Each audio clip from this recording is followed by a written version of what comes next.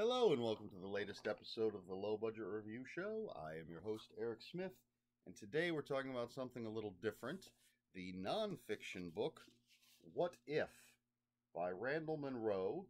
And this is serious scientific answers to absurd hypothetical questions. Uh, and this is this is a lot of fun right off the bat. Uh, Randall Munroe is it says the creator of XKCD, whatever the hell that is. Um, but he does he has these little stick figure drawings, and he uses them to illustrate his answers to again observed hypothetical questions. We're just going to open this up and uh, take a quick look at some of these just to give you an example. Uh, let's see, where's a good one? Um, what would happen if everyone on Earth stood as close to each other as they could and jumped, everyone landing on the ground at the same instant?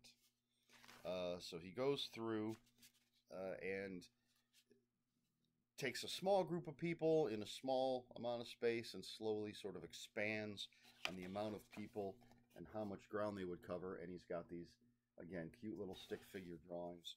But it's all based on actual scientific principles. So, um, you know, we get some interesting answers. Let's see. We'll just find another one. um, no, that one's a little bizarre. Okay, this is a fun one. What would happen if you tried to fly a normal Earth airplane above different solar system bodies? So he picks an aircraft, I think it's a Cessna he's talking about, looks like it from the little picture, and then he talks about what would happen if you were trying to fly. Got these nice illustrations and just illustrates if you're trying to fly it over the sun, Mars, Venus, uh, Jupiter, Saturn. I'm just naming planets at this point. Gets to Titan.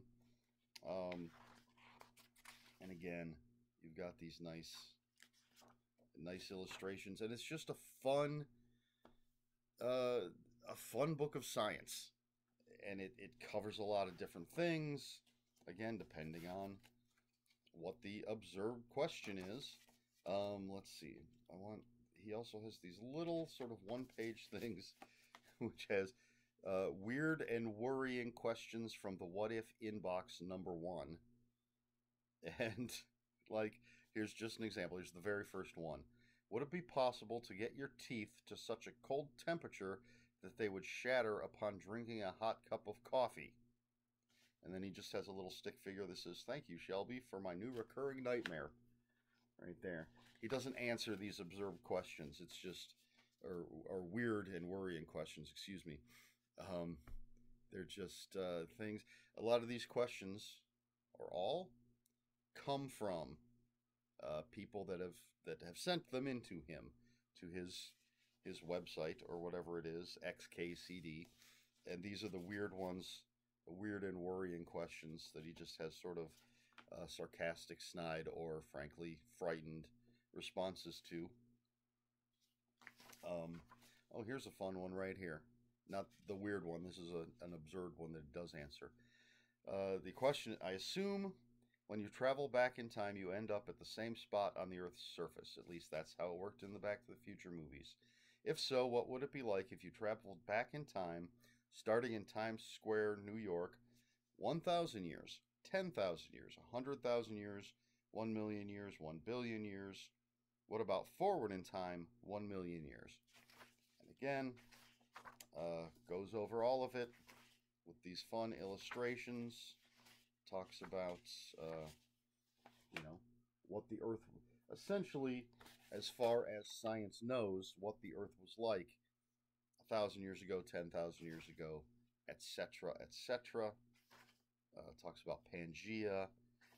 Talks about uh, what things would look like in the future, extrapolating from where we are now in history and all that. Um, anyway, all right. I'm obviously not going to go through and read all of the questions, uh, but it's just if you like uh, just fun, interesting um, fiction, nonfiction, science. It's um, I say pick it up. It's a really interesting book. It covers a lot of interesting topics uh, in science. Uh, how fast can you hit a speed pump while speed bump while driving and live?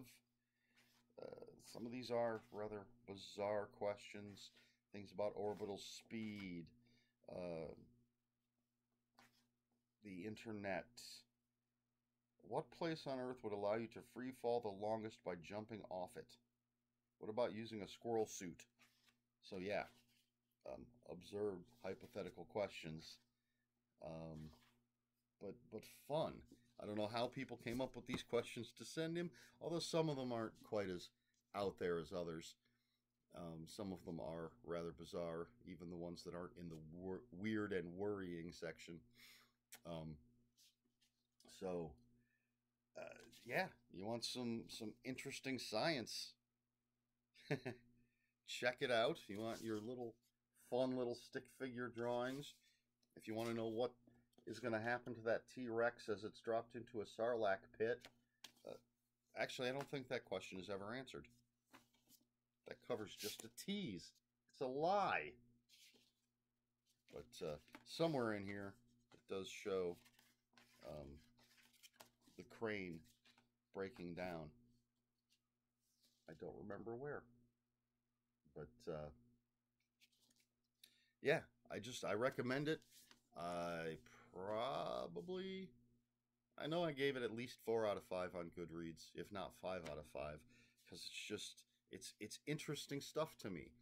Um, a, a, wide variety of scientific subjects, uh, fun answers, and he often goes beyond what was asked because the the the answer to the question that was asked might be relatively simple and so he'll go beyond that and say okay you asked about this and this here's your answer but what if we went a little bit further? Then this craziness would happen if we go even further it gets even crazier.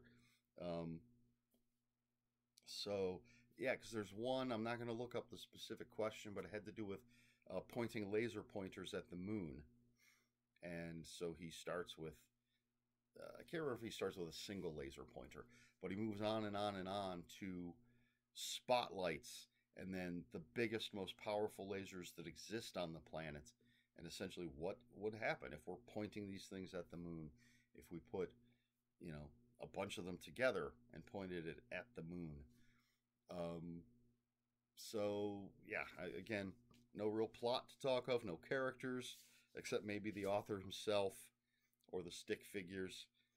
But uh, I've already gone out and bought another one of his books. Um, he has a third, I believe, that I have not picked up yet. But yeah, just uh, I recommend it. What if? I don't know who the publisher is. Some uh, HMH is on the spine. I don't know if that means any. Oh, there it is I had it off camera there. I don't know if that means anything. Um, but yeah, let's uh, let's step away from the fiction every once in a while and uh, read some nonfiction. And uh, this is a good place if you're interested in science and just a little bit of craziness.